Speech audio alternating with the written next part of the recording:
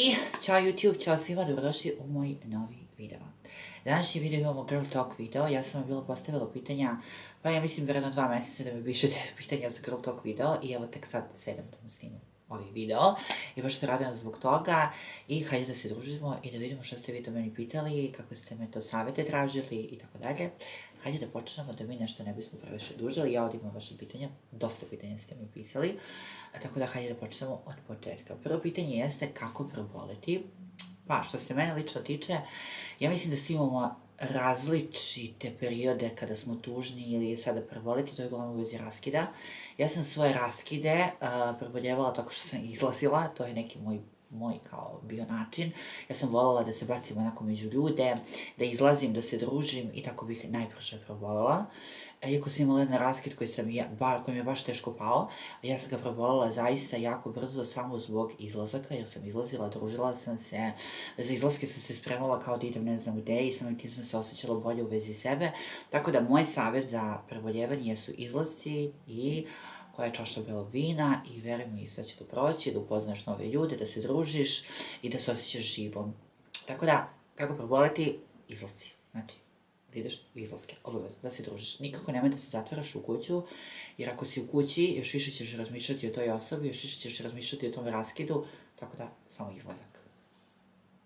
Neko pita kako započeti self-care, mršavljanje, psihički rad, učenje, skincare itd. Pa, čim pitaš kako započeti, potrebno je samo da počneš.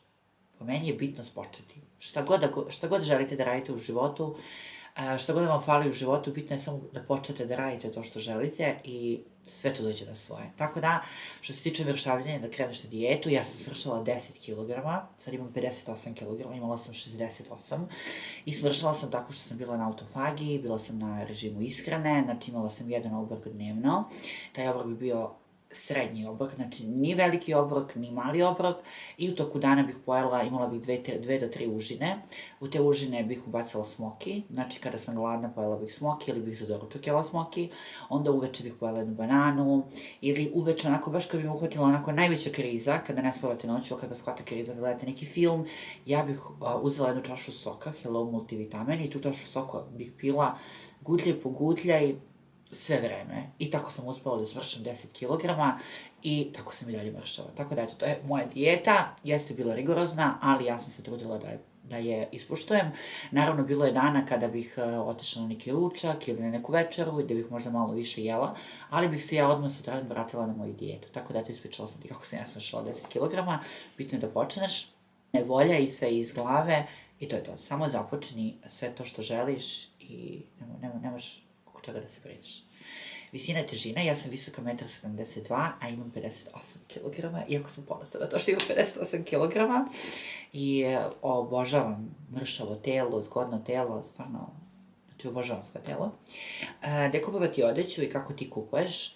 Ja odeću kupujem apsolutno svuda stvarno, u posljednje vreme sam najviše kupovala odeće na Sheinu zbog prirode posla u Italiji, zato što sam radila kao hostesu u diskoteci i samim tim je bilo potrebno da imam lepe haljine, da imam interesantne haljine i ne da je uvijek bilo potrebno, nego da bi se ja osjećala bolje. Ja sam kupovala te haljine um, i obožavala sam da stalno menjam haljine, iako su neke devojke možda dolazile u crnoj običnoj haljini, ne znam, 3-4 večeri za redom. Ja ne, ja sam uvijek morala da izgledam glamurozno i obožavala sam da menjam haljine i tako, tako da e, ja sam najčešće kupovala u posljednje vreme stvari na Sheinu, ali to je zbog moje prirode posla, su mi te stvari trebale, ali inače volim svuda da kupujem i svuda kupujem garderobu. A, kako šarmirati muškarce i kako odraditi sa njima toplo-hladno, jer to uvek deluje za osvajanje. Ja mislim da je to najveća budalaština, zato što a, ti ako si u dejtu sa nekim, ako si u, u upoznavanju sa nekim, ja mislim da ti trebaš biti ono što ti zaista jesi. Jer ti ukoliko igraš neke igrice toplo-hladno, to jeste da može delovati, ali opet ćeš izgubiti sebe i čim te on bude provalio da ti glumiš i da, si, da, ti, da, da ti sve to radiš da bi ga osvojila, mislim da tada najviše i padaš. Ono što je moj savez za sve vas, kako šarmirati muškarca, jeste da budeš ono ko jesi, ali da mu stalno stavljaš do znanja da ti imaš svoj život u smislu da ti izlaziš, da se ti družiš, da ti ne moraš uvek izaći kad god te on pozove, da izađeš sa njim, ne moraš mu se uvek javiti na telefon, da ne budeš uvek dostupna, ali da uvek budeš ti. Znači, sa svim svojim manama i vrlinama uvijek trebaš biti ti, ali gledaj da ne budeš dostupna. To je po meni greška svih nas, jer mislim da je najbolje, svi mi volimo, mislim da su muškarci i žene po tom pitanju jako slični, zato što mi svi, čak i muškarci, čak i žene, vole malo nedostupne osobe i vole malo one osobe koje imaju svoj život i koje imaju karakter. Svi mi volimo te malo nedodirljive osobe, ono, ono kao, samo je bitno da se tako postaviš i to ti je najbolji, najbolji savjet za osvajanje bilo kog muškarca po meni, a ovo ostalo je po meni jako velika glupost i budalaština. Tako da ja ne bih, ja bih samo bila ona koja jesam i ne bih uvek bilo, ne, i ne bih uvek bila dostupna. Znači, trudi se da ne budeš uvek dostupna i to je to, već si pobedila. Kako vidjeti da više nije zagrejan za tebe, PS predivnosti, hvala ti puno. A, kako da vidiš da više nije zagrejan za tebe, ja mislim da se to osjeća i mislim da bi to osetila ukoliko vidiš da nije zagrejan za tebe, jer vidiš po ponašanju, po javljanju, nejavljanju, da li se viđete, da li se ne viđate i tako dalje, tako da po tome možeš da primetiš. Napiši nam recept svog dobrog izgleda i samopouzdanja. A, razgovor o gledalu, ne znam šta da vam kažem. Prvo dijeta, znači morate da smršate, jer ja kad sam smršala, uh, znači kako sam smršala, ja se osjećam apsolutno fantastično, tako da to, uh, malo filera, dobra šminka, i, i, i, i uh, rekla sam, znači da smršate, i razgovor o gledalu. Znači da se gledate u gledalo ovako, i da govorite sebi prelepa si, divna si, sjajna si, da pogledate u vaše oči, da volite vaše oči, da volite sebe. To je meni najviše pomoglo što se tiče mog samopouzdanja, dobrog izgleda, naravno malo fileri, malo mršavljenje i tako dalje i svakog dobrog izgleda pogotovo kada se i malo uradi, malo dobro šminka i tako dalje, tako da svi možete doživjeti glow up.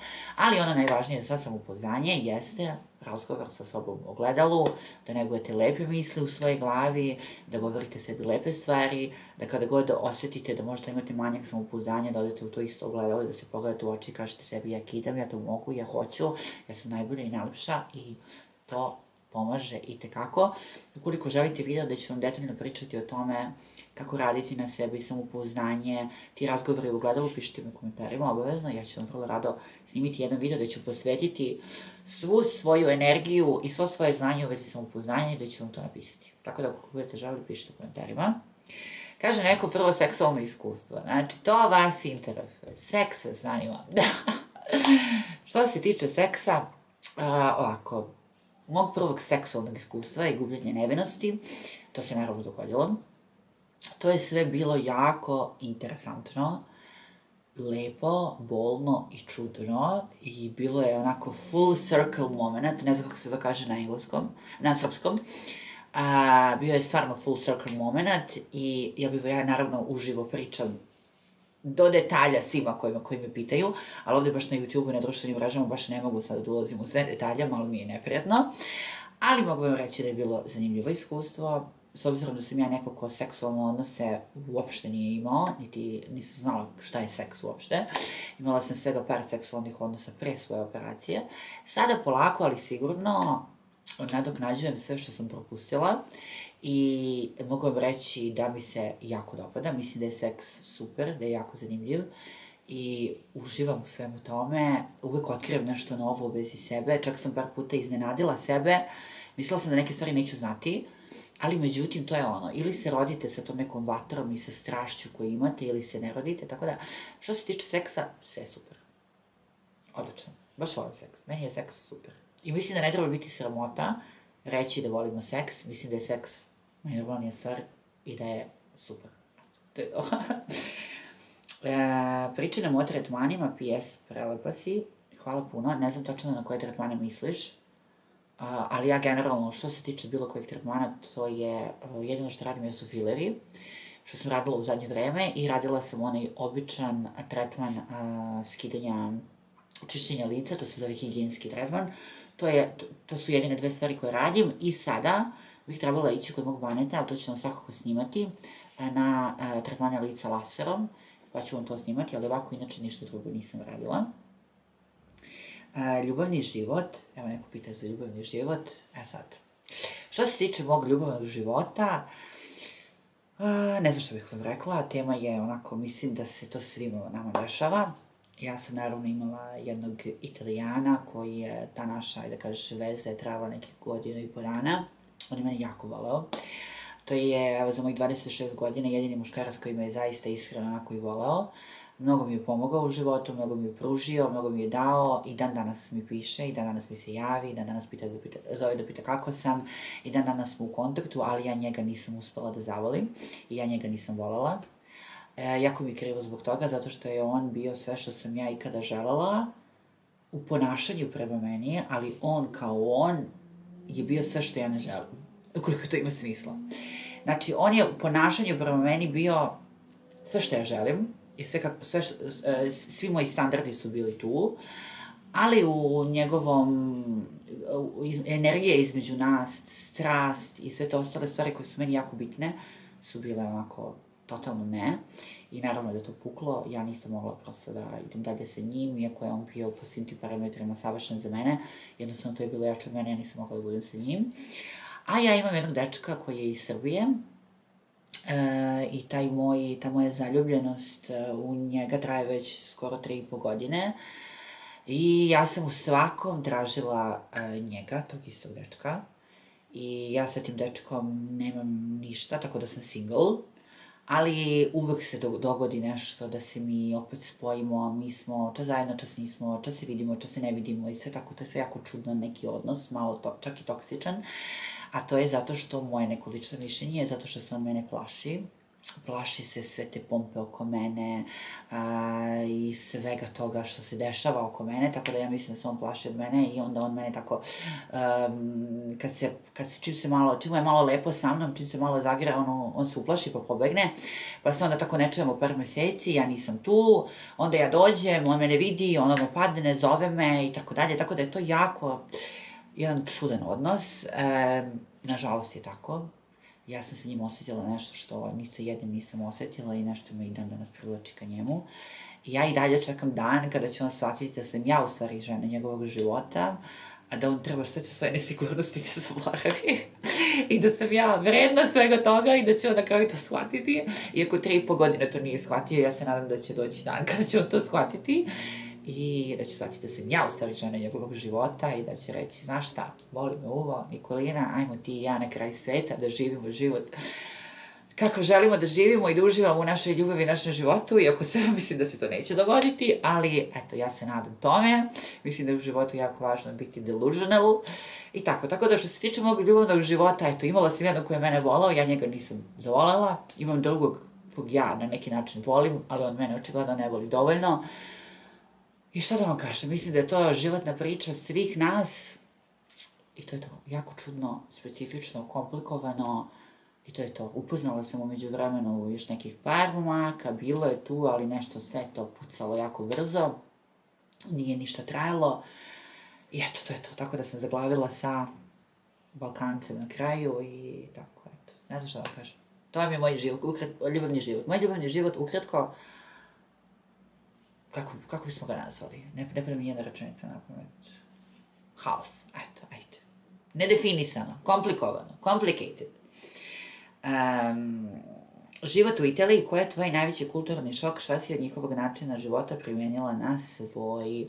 Od njihovog načina života koji sam primenila na svoj jeste belo vino, šta god da jedem. Znači, ja od sada, kad god idem u neki restoran, pošto to inače italijani vrlo često rade, oni uvek piju belo vino, I meni je to tako bilo šokantno kako idemo na večeru, pijemo belo vino. Ja sam u Srbiji uglavnom kad idem na večeru pila neki sok, jer tako dalje, stvarno nikada nisam pila vino.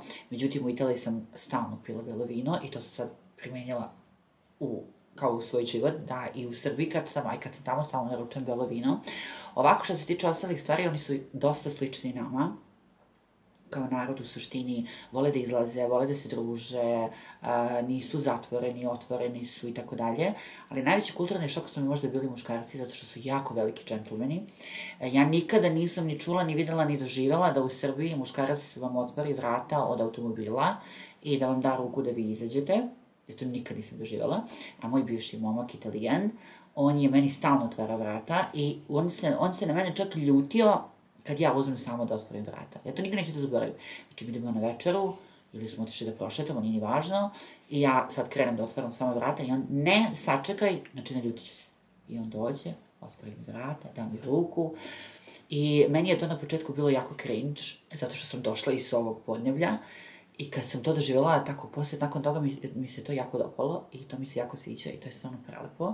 I osjećate se kao princeza i on vam tim pokazuje da vas poštoje, tako da bi to bio najveći kulturni šok. Generalno ponašanje muškaraca prema ženama, koliko sam cveća dobijala, sve i svašta. Ne kažem da takvih muškaraca kod nas nema, ali mislim da ta kultura kod nas, e, da, da, da bih odmah tog muškarca gledali kao papučara, a što uopšte se ne slažem sa tim, dok u Italiji generalno muškarci samim tim kroz njihove pesme, ko zna italijanske pesme, kada bi čuo italijanske pesme, zna da kroz njihove pesme oni baš su onako emotivni i kod njih je lepo da muškarac voli i oni vole da vole.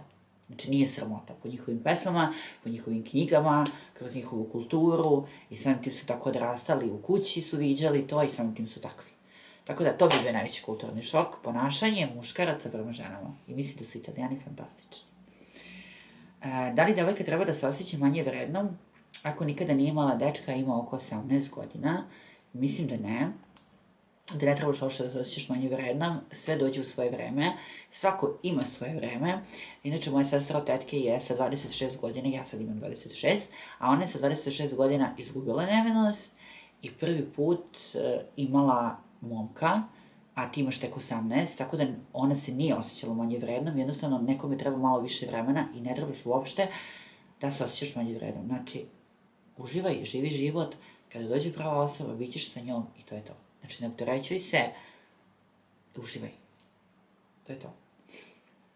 E, predivna si, hvala puno. Kako državaš tako dobru liniju, poziv iz Berlina, pozdrav za Berlin. E, ispričala sam kako državam tako dobru liniju, e, znači, po, vrati se na početak videa, autofagija, dijeta i nemojte da jedete. To je to. E, da li te oženjeni smaraju i zašto da? Mene iskreno oženjeni muškarci ne smaraju. Inače, bila sam, pričala sam s jednim novinarom pre neki dan i on me isto pitao da li su te muvali kao oženjeni muškarci i tako dalje. Ne znam zašto uopšte su toliko oženjeni muškarci zanimljivi. Mene nisu muvali oženjeni muškarci i nemam veze s oženjenim muškarcima i nikada nisam bila s oženjenim muškarcem do sada a da ja znam da je on bio oženjen, nešto mi oženjeni nisu zanimljivi i nisam bila i ne muvaju me i to je to. A, da li imaš dečka? Ispričala sam, nemam dečka, ali imam eto tu neku specifičnu situaciju u kojoj sam, ali dečka kao dečka nemam. Um, mm, mm. Hej, Niki, imam osjećaj da sam manje vredna, da nisam dovoljno dobra, imam osjećaj da nisam dovoljno lepa. A, vereg mi, e, samo sunce mesec, inače veliki pozdrav za tebe, ti si, moj, uh, ti si moje srce, uvek si tu, pratiš me godinama, hvala ti puno na tome. Ovako, svako od nas ima osjećaj kada se osjeća manje lepim, manje vrednim i tako dalje. Znači, to je sve rad na sebi. Opet se vraćamo na temu gledanja u ogledalo. Jako je važno da se gledate u ogledalo i da kada se gledate u ogledalo u vaše oči da govorite sebi lepe stvari i da mislite se lepe stvari o sebi. Jer ako se vi gledate u ogledalo i govorite sebi, a ja nisam dovoljno vredna, nisam ovo, nisam ono, to će se odraziti na svaki segment vašeg života. Tako da je moj savet kako da se osjećaš više lepom i uh, više vrednom jeste razgovor u ogledalu. Možda vam ovo sada zvuči cringe. Ja sam to mnogim mojim prijateljicama, poznanicima pokušavala da objasnim, a meni niko nikad nije to da posluša. Ja ne znam šta je problem sa ljudima, ako vam neko da neki savjet, ver probajte, pokušajte. Ja sam e, vrlo često imala taj problem da sam ja svojim prijateljicama ili poznanicama ili pričala da to rade i pričala im neke svoje savete, oni meni nisu da, da poslušaju. Njima je na jedno učilo, na drugo izašlo, ali su se i dalje osjećale ružno i nisu se osjećale lepo. Moji saveti, kako sam ja kao neko ko je bio jako osuđivan, kao neko ko nije izgledao lepo na početku cele moje tranzicije, da sam bila pola-pola i tako dalje. Znači ja imam, ja mislim, um, kredibilitet da pričam o ovome, o samopouznanju, a, neko ko je slušao razno razne komentare o sebi, osuđivanje i tako dalje, ali opet je uspeo uvek da sija, da bude sve lepši i lepši, a, da radi na sebi, da se osjeća lepo i tako dalje. Kogod da me vide uživo, sigurno nije video osobu koja nema samopouznanja, nego osobu koja ima samopouznanja. Tako da je meni najviše pomoglo u životu, znači razgovor u ogledalu, kada se gledamo u ogledalu, da pričam sebi lepe stvari i da jednostavno verujem u sebe, jer vi kada se gledate u ogledalu i kad govorite sebi a, ja to mogu, ja vredim, ja sam jako lepa, ja ću uspeti, pogledajte kako imam lepe oči, oči, lepe usne, prosto to skrenete da osjećate i samim tim se osjećate bolje u vezi sebe. Tako da, draga moja Karla, moj savjet je da se gledaš u ogledalo i da pričaš sebi jako lepe stvari, a vi ne zaboravite da mi pišete ukoliko želite video o ovome detaljniji, ja ću vam vrlo rado snimiti. E, e, opa, idemo sada. Dečko me ocenjuje da će da raskine ako ne budemo imali odnose, on ima 19, ja 16. Šta da radim? Po meni, ti bi trebalo automatski odmah da ga blokiraš. Znači, to nije ljubav i to nije dečko koji te voli. Znači, on tebe ne može, znači nije, ne smiješ dozvoliti ikome u životu da, da te ocenjuje, a kamoli tvom dečku. Znači, ocenjivanje zaboravi. Znači, po meni trebaš odmah da ga blokiraš, da završiš sa njim, doviđenja prijatno.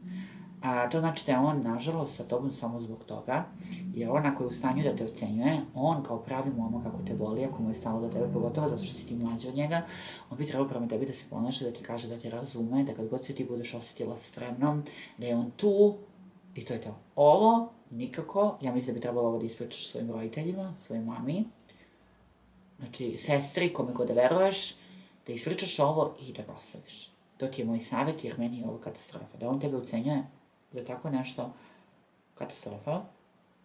Uh, idemo dalje. E sad, uh, ovde imamo nekih sedam pitanja, točnije sedam ovih uh, nekih kvadratića, koje je neka devojka postavila i pitala je takođe za savet.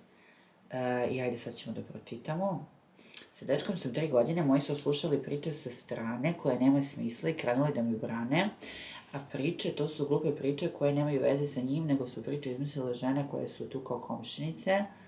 Imam 20 godina, oni dalje brane iste stvari, ali ja stvarno volim tog dečka i on se prema meni ponaša prelepo. I volila bih... Okej... Okay. Šta bi ti radila da ti tvoj brane, da ti voliš osobu, da ti pričaju sve i svašta, a ti znaš da nije tačno? Ovako, ukoliko si, samo sekund, izašla sam iz pitanja, posle neću moći da pronađem. Ukoliko si ti 100% sigurna sa i vidiš to, i, i, i vidiš to, i ljudi oko tebe vide to, da on tebe voli, i ako ti osjećaš da je to vredno ljubavi, meni ne bi trebalo da, da te interesuje šta ti tvoji roditelji kažu, ja bih lično tako razmišljala. Ukoliko bih ja bila 100% sigurna da on mene voli, da volim je njega, ukoliko bih ja videla budućnost sa tom osobom i znala da, mi, da od nas može biti nešto, ja to ne bih dozvolila da to tek tako meni ode i ne bih dozvolila mojim roditeljima da utiču na to, tako da moj savjet je da ti pustiš roditelje.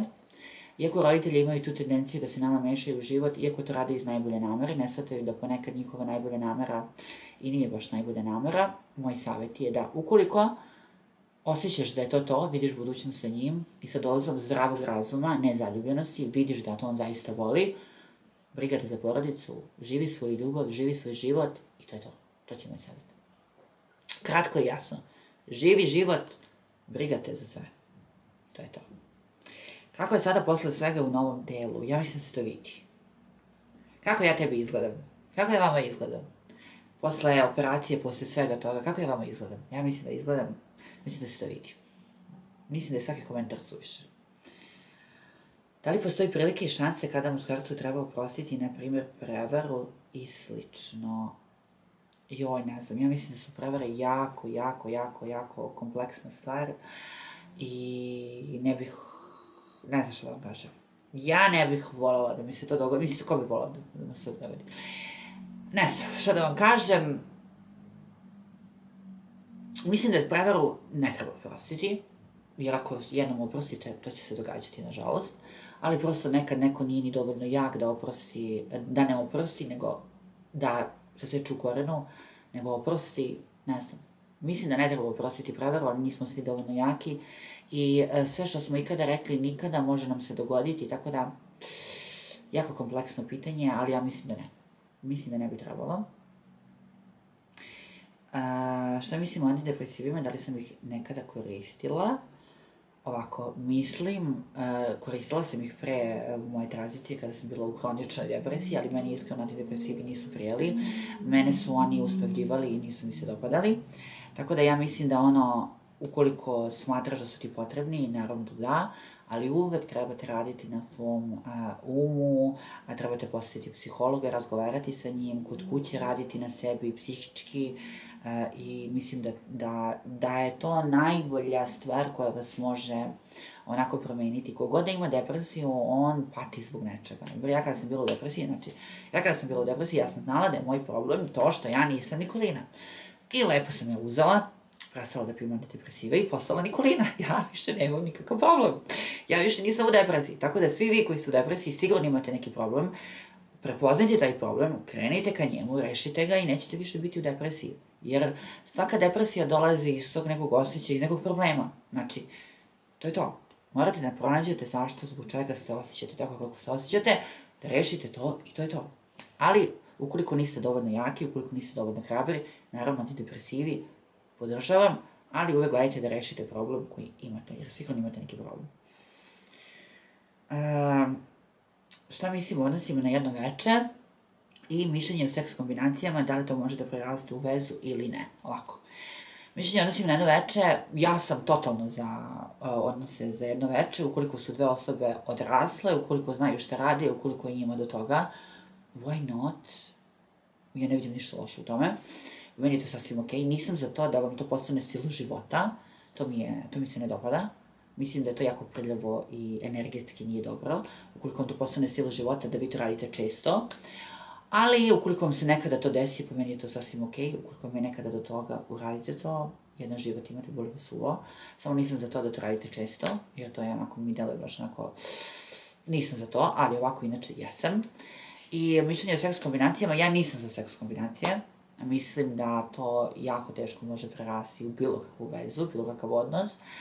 A, nisam za to, ali ukoliko ste vi, naravno opet, uh, sa dozom zdravog razuma i razmišljenja, ali opet će se, u toj seks kombinaciji će se neko zaljubiti. Zato ja nisam za te kombinacije. Zato su meni te kombinacije besmislene.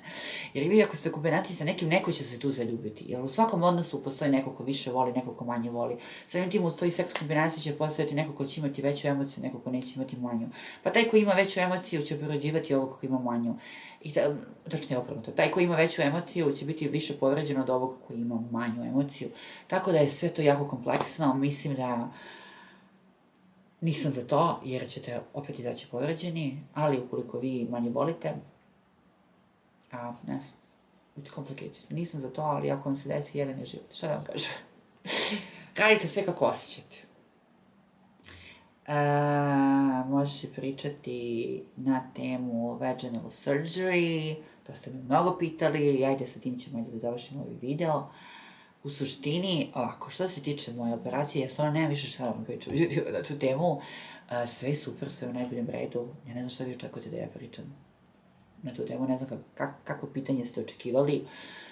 Uh, rekla sam ono na početku videa, eto nešto što sam uspela da vam ispričam, stvarno se ne osjećam lagodno i ne želim da pričam o mojoj vagini ovde na internetu, mislim da o tome niko ne priča, zašto bih pričala ja. I to je to, eto, žela sam to da podelim s vama da znate da sam sada 100% Nikolina i to sasvim u redu, ali ovako sada da vam pričam, ja sad u neke detalje ne mogu. Uh, uživo vrlo, red, vrlo često pričam sa svojim prijateljima o tim nekim stvarima, ali na internetu stvarno ne mogu. I to je to. Znači, ne brinite, sve je super, moja gospođica je u odličnom stanju, sve je super, sve je savršeno i to je to. Tako da, to bi bilo to za ovaj Girl Talk video. Ja se nadam da ste uživali. Uh, ja sam svakako uživala snimajući ga za vas. Baš mi je drago što se vratila na društvene mreže i to je to. Ljubim vas puno. Ne zaboravite da ostavite jedan like, jedan subscribe. Kako novi kažemo, ostanite mi hrabri, ostanite mi pozitivni i verujte u svoje snove, čuda su moguća. Ja vas ljubim puno i mi se vidimo u nekom sledećem videu. Ćao!